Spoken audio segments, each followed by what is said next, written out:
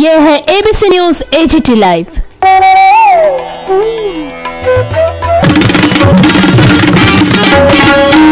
This is ABC News, AGT Live.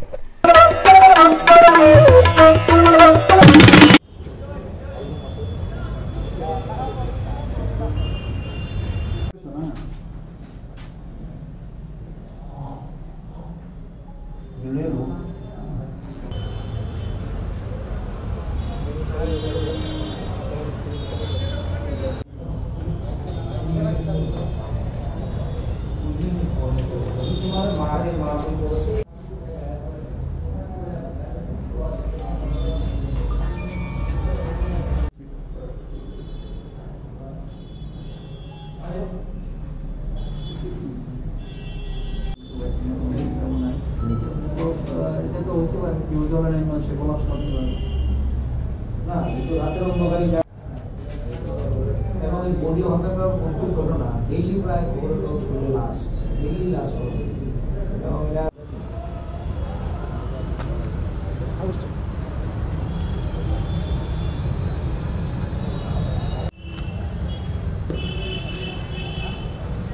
टूडी है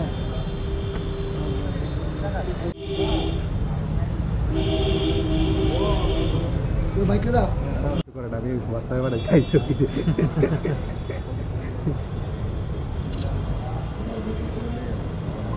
আমরা অত্যন্ত উদ্বেগের সাথে লক্ষ্য করতেছি সারা রাজ্যের সাথেই আমাদের এই বনমালীপুর এলাকায়, কলেজটিলা, ধলেশ্বর এইসব জায়গায় আইন শৃঙ্খলা সম্পূর্ণভাবে ভেঙে পড়ছে।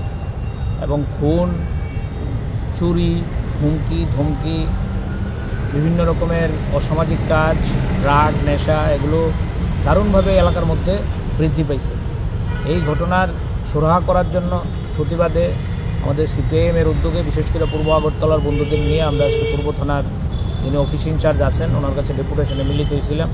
আপনারা লক্ষ্য করছেন, গত এগারো তারিখ এবং তেরো তারিখ আমাদের এই কলেজ টিলার লিঙ্কে পরপর দুটো মৃতদেহর ঘটনা, সেখানে মৃতদেহ উদ্ধার হয়েছে। এবং আজকে এই ধরনের লাশ উদ্ধারের ঘটনা রাজ্যে প্রায় প্রতিদিনকার ঘটনা, এটা রুটিন মাফিক ঘটনা ঘটছে। এবং আপনারা দেখছেন আমাদের রাজ্যে স্লোগান উঠছে, রাজ্যে আইনের শাসন চাই। এবং রাজ্যে আইনের শাসন প্রায় ভুলন্টিত বিজেপি আইপিএফটি জোট সরকার আসার পর কখনো খুন এবং আপনারা লক্ষ্য করছেন কুমারঘাটে কন্ট্রাক্টরকে সেখানে তাদের অফিসে ঢোকাইয়া কীভাবে নির্যাতন করছে। সেখানে বিশাল করে বিলুনিয়ায় কুমারঘাটে এখন তো আর বিরোধী দলের উপর না, নিজেদের নিজেদের মারামারি রক্তারক্তি।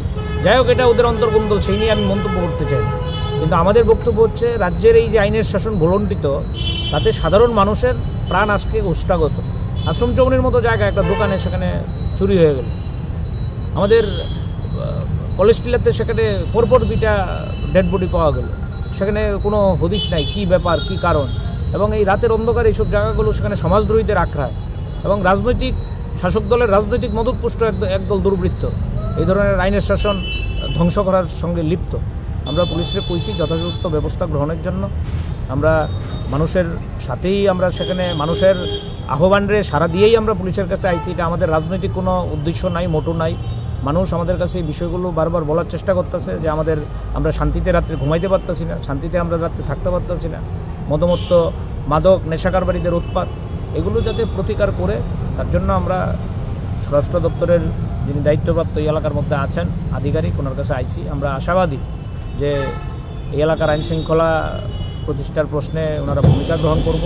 যদিও আমরা আবারও বিশ্বাস করি, যদি রাজনৈতিক সদিচ্ছা না থাকে আমাদের শাসক দলের তাহলে এই ধরনের অপরাধ কমানো সম্ভব না। আপনারা লক্ষ্য করছেন গোটা রাজ্যেই আজকে যে আইনের শাসন তলানিতে ঠেকছে তার প্রধান এবং মূল কাণ্ডারি হচ্ছেন শাসক দলের দুর্বৃত্তরা। সুতরাং শাসক দলকে সেখানে আগে ঠিক করতে হইব যে রাজ্যে আইনের শাসন তারা ফিরাই দিব কিনা তারপরেই পুলিশ সেখানে ভূমিকা নিতে পারবে। যদি শাসক দলের কর্তারা যদি রাজনৈতিকভাবে সিদ্ধান্ত না নেয় তাহলে পুলিশের পক্ষ কিছু করার নেই। এটা আপনাদের কাছে স্পষ্ট করে আমরা বলতে চাই। মূল কয়টা বিষয়? এবং আমাদের এলাকায় বেশ কয়েকটা জায়গায় চুরি টুরি হয়েছে, এগুলো নিয়েই আমরা আজকে নজর দেওয়ার চেষ্টা